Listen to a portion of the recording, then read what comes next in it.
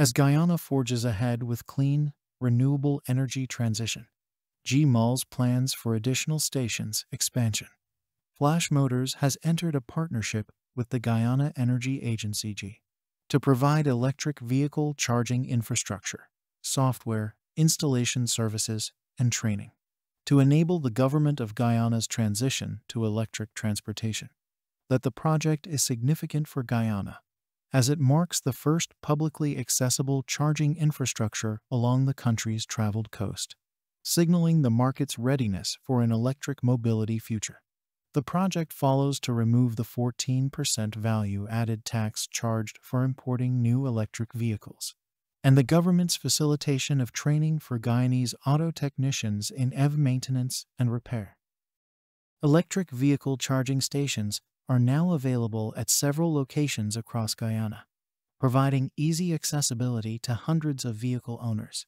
During a site visit to one of six stations located at Amazonia Mall in Providence, that the $39.3 million investment is part of the government's Low Carbon Development Strategy LCDS to facilitate the robust transition from fossil fuels to renewable energy fits quite nicely into our Low Carbon Development Strategy 2030 through the LCDS 2030, encouraging more use of renewable energy sources.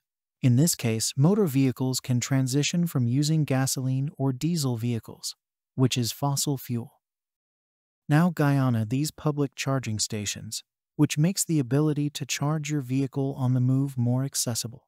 Charging stations have been installed at Amazonia Mall in Providence, the Cheddi Jagan International Airport CJIA in Timehri, the Giftland Mall on the east coast of Demerara, Little Rock Suites in New Amsterdam, S&R parking lot in Parika, and outside of the G's office on Quamina Street, Georgetown. These stations are currently under a three-month trial and testing phase and are being monitored by the Guyana Energy Agency G engineers. During this period, consumers can recharge their vehicles free.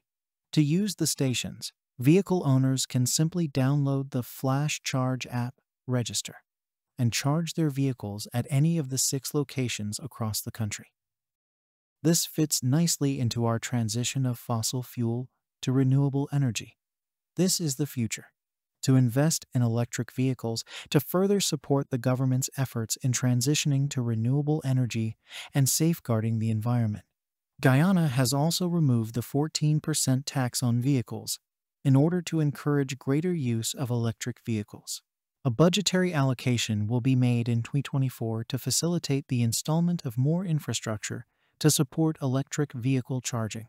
At $80 per kilowatt hour, that's very affordable for anybody with an electric vehicle, as he compared it to other Caribbean charging rates for electric vehicles, ranging from $81 G 176 per kWh and 156 G 183 per kWh. This project promotes e-mobility development, demonstrates potential business opportunities in electric mobility, and signals the market's readiness for an electric vehicle's future. The total cost that we install these units is $39.3 million. That's about 1.5 million per unit. Look at other types of technology other brands to see how we could lower that cost at $80 per kilowatt.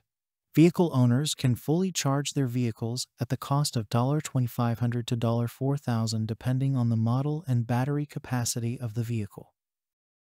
Already vehicle owners have been able to use the stations that have been installed across Guyana. That the new infrastructure has made traveling a lot more convenient. Previously, she would have recharged her vehicle at home, but now can do so on the go in order to provide more Guyanese with access to energy efficient and carbon dioxide, reducing alternative mobility options. The government announced fiscal initiatives. These included the removal of 14% tax on brand new, non hybrid electric motor vehicles and an annual increase to 50% of the writing down allowance for all electric motor vehicles in order to encourage businesses to make the investment decision to transition to greener cars.